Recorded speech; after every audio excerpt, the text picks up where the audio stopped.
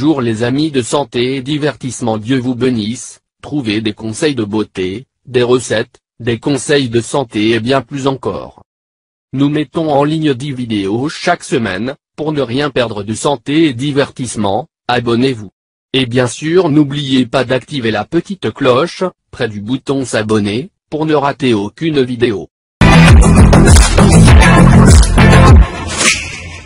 Cette plante peut lutter contre les problèmes du système digestif tels que les gaz, le manque d'appétit, les coliques et les douleurs à l'estomac, soulager la polyarthrite rhumatoïde, les douleurs aux jambes. Substitut de l'estragon est très prisé pour la préparation d'infusions aromatiques, le péricon est connu pour ses propriétés médicinales lorsqu'il s'agit de soulager les problèmes d'estomac. Cette plante sauvage possède des vertus médicinales déjà connues des anciens habitants du Mexique, qui les utilisaient pour soulager les maladies des dieux. Son nom scientifique est Agete lucida et il est également connu sous le nom de yerbanise. C'est une plante originaire du Mexique et du Guatemala et appartient à la famille des Astéracées. Il est vivace, avec de petites feuilles vertes très aromatiques. Fleurit en été, fleurs jaunes. On le trouve dans les plaines, les champs, les forêts tempérées et le long des autoroutes. Il peut mesurer jusqu'à 80 cm de haut et pousser droit. Il a des tiges ramifiées et des feuilles de forme elliptique avec des bords dentelés. Propriété. Le est utilisé pour préparer des infusions ou du maté pour soulager les maux d'estomac. Cette infusion a un fort arôme d'anis mais est généralement utilisée comme substitut à l'estragon. Parmi ses propriétés, nous pouvons souligner Antibiotique. Elle possède des propriétés antibiotiques contre Salmonella pyogène et Candida albicans. Cette plante est efficace contre les processus infectieux impliquant ces bactéries. Pour le système digestif.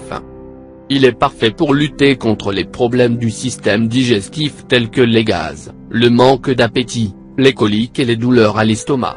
Il est également utilisé pour contrôler la rétention d'eau. Pour les femmes. Il peut réduire les douleurs mammaires et traiter les troubles gynécologiques tels que les retards menstruels et les crampes. Pour la peau.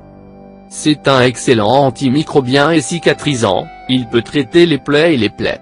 Il peut combattre les bactéries Staphylococcus aureus. L'une des vitesses de propagation les plus rapides infecte une fois une partie du corps réduit les conditions respiratoires.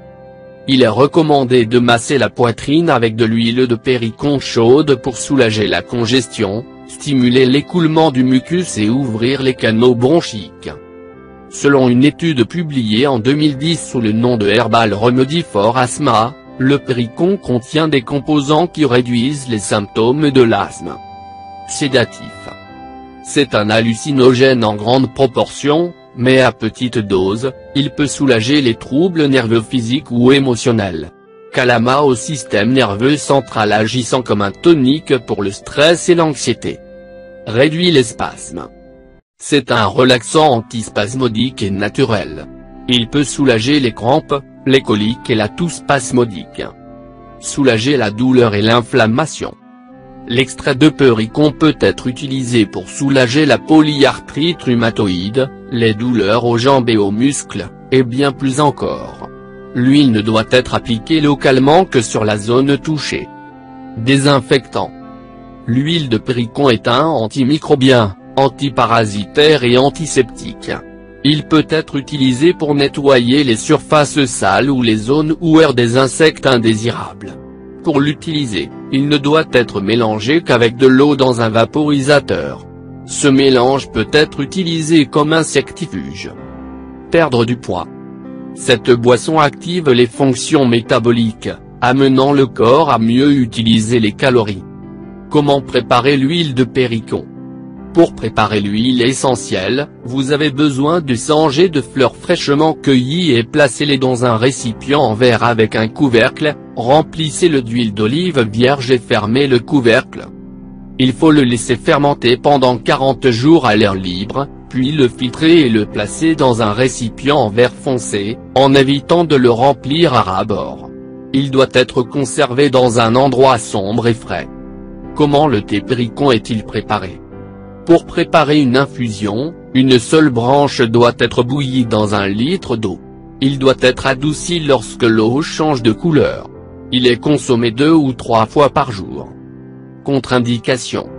L'huile essentielle peut être très irritante pour les peaux sensibles, elle doit donc être diluée avec d'autres huiles pour l'appliquer sur la peau. Appliquez une petite partie à l'intérieur de votre poignet pour évaluer la réaction. Après utilisation, n'exposez pas votre peau à la lumière pendant 24 heures car elle est phototoxique. Il ne doit pas être utilisé chez les femmes enceintes ou allaitantes ni consommer la perfusion de péricon en raison de ses propriétés abortives. Il intervient avec certains médicaments, il est donc conseillé de consulter d'abord votre médecin. Merci de nous avoir visités. Si vous voulez recevoir des recettes pour perdre du poids, des conseils de santé ou des recettes pour vous faire paraître beaucoup plus belle, je vous recommande de vous abonner à notre chaîne, et bien sûr n'oubliez pas d'activer la petite cloche, près du bouton s'abonner, pour ne rater aucune vidéo. Je vous demande de nous faire un commentaire, même si c'est un bonjour, ou un merci, car vos commentaires nous motivent à continuer à faire beaucoup plus de vidéos pour vous. Partage avec nous dans les commentaires si vous avez des questions supplémentaires. Si vous l'avez trouvé intéressant, important n'oubliez pas de partager avec vos amis et familles. Merci que le grand Dieu vous bénisse.